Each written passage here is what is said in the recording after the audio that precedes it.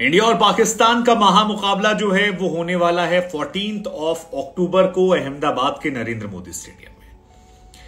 लेकिन जब Ahmedabad Pakistan cricket team पहुँची तो बवाल मच गया। दरअसल पाकिस्तान क्रिकेट टीम का ज़बरदस्त तरीके स्वागत हुआ। होटल स्टाफ ने उन खिलाड़ियों पर फूल बरसाए। कई लोग डांस परफॉर्म कर रहे थे, ढोल नगाड़े बजाए गए। और ये तमाम लोगों को रास नहीं आ रहा है। तमाम लोग सवाल खड़े कर रहे हैं कि भाई, पाकिस्तान क्रिकेट टीम का स्वागत करने की ज़रूरत क्या है? हैदराबाद में भी यह बवाल हुआ था कि पाकिस्तान टीम के लिए चेयरअप हो गया। पाकिस्तान टीम का स्वागत कैसे हुआ? होटल स्टाफ इतना स्वागत क्यों कर रहा है? लोग स्वागत क्यों कर रहे हैं?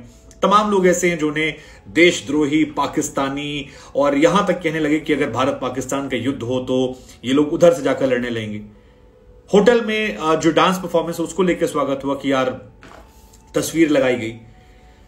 अब सवाल एक मन में यह आता है कि यार, जब इंडिया पाकिस्तान मैच की इजाज़त आपने दी, जब आपने खुद अपने देश में बुलाया तो आए हुए मेहमान के स्वागत को लेकर इतना हंगामा क्यों? और क्या यह हंगामा सही है? और अगर यह हंगामा सही है तो फिर बुलाने की ज़रूरत क्या थी? पाकिस्तान तो पहले ही कह रहा था ना कि आप हमें बांग्लादेश में खिला दीजिए, हमें श्रीलंका में खिला दीजिए। हम भी खुश, आप भी खुश, आप नहीं आते, हम भी नहीं आएँगे। मना तो पहले आप ही ने किया। दरअसल इंडिया पाकिस्तान मैच की हर बार की एक ही कहानी है कि शुरुआत इसकी विवाद से होती है। हर बार विवाद होता है। अनाउंसमेंट होता है, तब विवाद होता है। मैच होता है, तब विवाद होता है। और मैच के बाद फिर विवाद होता है। और ये हर बार होता है। इस बार भी तेईस अक्टूबर चौदह अक्टूबर को जब ये मैच है, तब बहुत सारे विवाद हैं। क्रिकेट जगत में हर तरफ़ इसको लेकर चर्चाएँ हैं।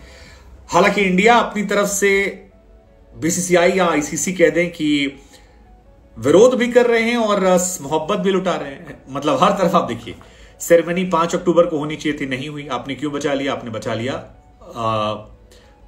चौदह तारीख के लिए। जिस दिन आपको नेहा कक्कड़ को गवाना है, अरिजीत सिंह को गवाना है, अमिताभ बच्चन को बुलाना है, रजनीकांत को बुलाना है, पीसीबी चीफ आ रहे हैं, इंडिया से तमाम बड़े नेता लोग जा रहे हैं। आप ये सब क्यों कर रहे थे? क्योंकि आप जानते हो उस मैच का हाइप होने वाला है। एक्साइटमेंट है एक्साइटमेंट आपने बनाई इंडिया पाकिस्तान मैच को एक्साइटमेंट आपने तो जो एक्साइटमेंट बीसीसीआई कर रही है, वो सही है तो वो होटल वाले करने में कैसे गलत हो गया? और वो देशद्रोही कैसे हो गए? मतलब ये सवाल आना चाहिए।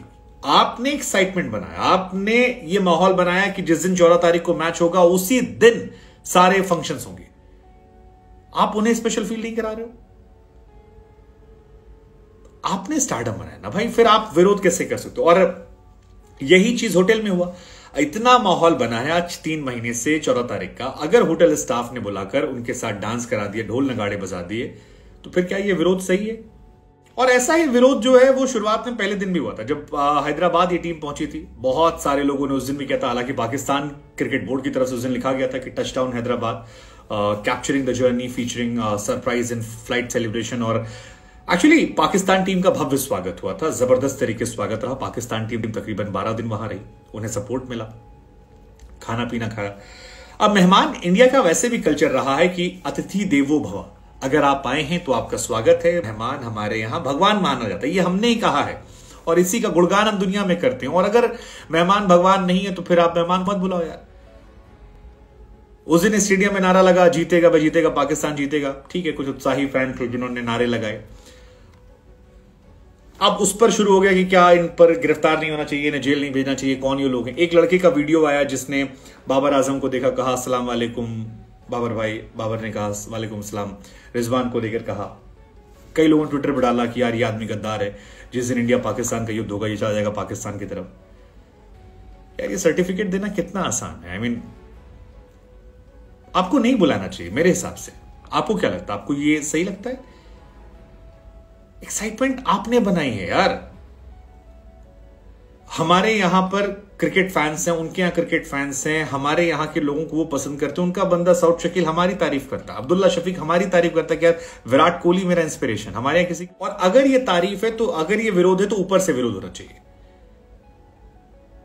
ये विरोध ऊपर से होना चाहिए। बार बार मैं कह रहा हूँ कि हमने उन्हें बुलाया है अगर बुलाया है तो हमारी यह ज़िम्मेदारी है कि उनके स्टाफ को, उनको और न सिर्फ़ पाकिस्तान को, बल्कि Bangladesh, Afghanistan, South Africa, England, Australia, सबको करें। इनफैक्ट मैंने तो वहाँ भी क्वेश्चन रेज किया था कि आप सिर्फ़ पाकिस्तान को लेकर इतना माहौल क्यों बना रहे आप क्यों बाकी टीमों को वो स्पेशल ट्रीटमेंट नहीं दे रहे हैं जो पाकिस्तान को दे रहे हैं? मतलब अगर पाकिस्तान एक्चुअली में दुश्मन मुल्क है तो आपको खत्म कर देना चाहिए। आपको पाकिस्तान से हाई कमीशन वापस बुला लेना चाहिए। इंडिया में पाकिस्तान हाई कमीशन की इजाज़त नहीं देनी चाहिए। और उनके प्लेयर को यहाँ खेलने की इजाज़त देनी चाहिए।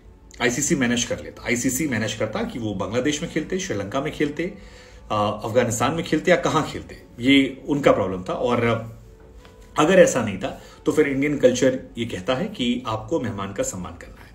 होटल मैनेजमेंट का फैसला खुद का था। अब उनके फैसले आप उन्हें मतलब किसी के होटल में कोई रह रहा है, यार उसको क्या करो? बेसी कर दे कि नहीं नहीं, आप हमारे आए हो, पाकिस्तानी हो, निकल बाहर यहाँ से। ये कर दे, आप ये चाहते थे। और पाकिस्तान क्रिकेट फैंस आपके आपके शहर में भी आपने इतना हाइप किया है। तीन हज़ार रुपए का टिकट पैंतीस हज़ार का बिक है। पूरा शहर उस पर मतलब इस टाइम कर रहा है, जो आपने कराया टूर्नामेंट अब मुझे लगा आप लोग से पूछते हैं, अगर हमने बुलाया तो क्या उनको उस वक्त गाली देना, विरोध करना